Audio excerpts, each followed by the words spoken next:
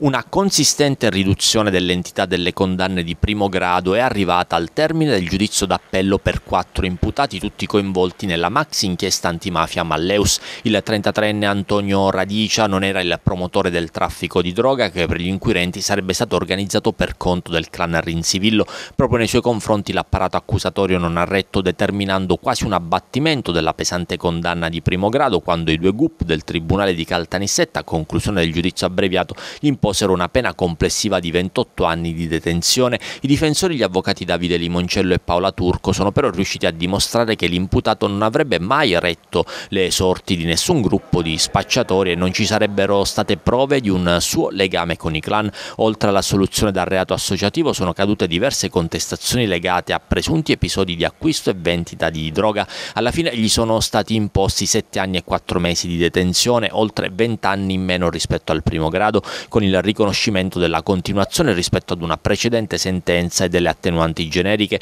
i difensori hanno impugnato la sentenza di primo grado ribadendo la mancanza di elementi investigativi chiari che potessero disegnare un ruolo di rilievo per Radicia, condanne ridotte anche nei confronti di Ivan Casciana e Giuseppe Domicoli, difesi dall'avvocato Giacomo Ventura, hanno contestato i verdetti di primo grado, per la difesa non farebbero parte di nessun sodalizio criminale finalizzato al traffico di droga e legale l'ha ribadito anche davanti ai giudici Nisseni, 6 anni e 8 mesi a Domicoli, mentre nel precedente giudizio dal GUP Lauricella era arrivata la condanna a 8 anni di detenzione e il giudice David Salvucci gli aveva imposto 9 anni e 4 mesi di reclusione, 5 anni e 8 mesi a Casciana che in primo grado era stato condannato a 8 anni e 10 mesi di detenzione ma era già stata esclusa una sua presunta appartenenza alle organizzazioni mafiose, 4 anni e 3 mesi di reclusione a Baldassarre Nicosia in primo grado condannato a 9 anni e 2 mesi di reclusione dal giudice Lauricella e a sei anni dal GUP Salvucci. Gli sono state riconosciute le attenuanti generiche. La difesa sostenuta dal legale Cristina Alfieri